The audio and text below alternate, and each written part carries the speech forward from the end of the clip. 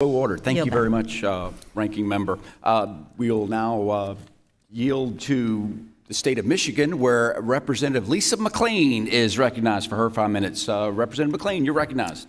Thank you. And before I get started, Ms. Raymond, did you want to finish your thought? I was done. Thank you. Okay, thank you. Then I'll, I'll start just with a general question to Ms., Mr. Heilig. Because we've talked a lot about charter schools and what happens if they close, and, and, and we're all concerned about that, right? Goodness gracious, what happens if they close in the middle of a school year, right? Um, we want to make sure that we're protecting the children. Um, what happens when a public school fails?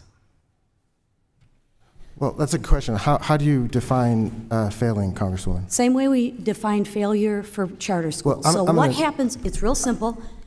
One, do you have a determination whether a public school is failing, mm-hmm. yes or no? Mm-hmm. Yes, you do?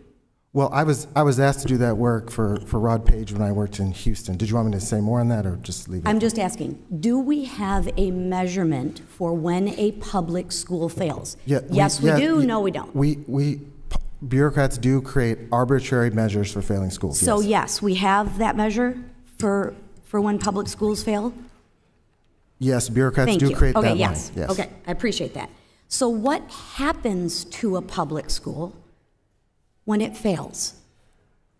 Well, we should make investments in that. I'm not things. asking what should, I'm asking, when a public school fails, what happens? Well, I can tell you what, what happens in Texas, in Houston, they've gone and taken away the schools from the community.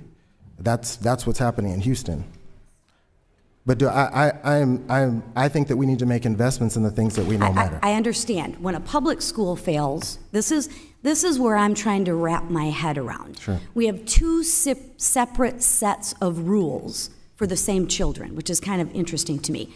Okay. If a charter school fails, we have all these rules and regulations and it closes, right? And it, it- if a public school fails with less rules, r- less regulations, mm-hmm. We just want more money to fix the problem. So if money is the answer for public schools, why wouldn't we give money to the answer for charter schools? So with that, I'm going to switch my um, questioning now to Mr. Pondiscio. The National School of Choice Awareness Foundation January survey found that 72% of parents considered, not, but considered different schools for their children. A 35% increase in, t- since 2022, right? What do you see is, is driving such a significant increase in school of choice? 35%. Yeah, um, I think the short answer may be COVID. Uh, For years, I have pointed out that uh, what happens inside of the American school classroom is a bit of a black box. Uh, we, we don't really know.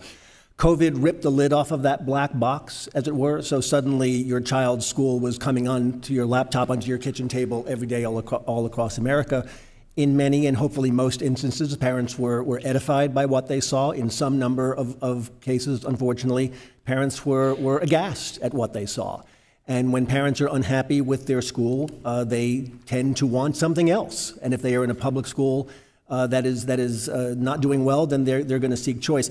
Congressman, if I, if I also may uh, just answer your previous question about what happens when a public school fails. Well, in 2002, I went to work at the lowest performing public school in New York City's lowest performing district. It is now 2024. That school is now the lowest performing school in New York City's lowest performing district. But we just have measurements. I thought we just talked about we had measurements for those public schools and they close. Why didn't that one close? That's a very good question, Congressman. Do we have, that's interesting, but we care about the children, right? Okay, just checking. So in my district, over 3,300 charter, we have 3,300 charter school students, right?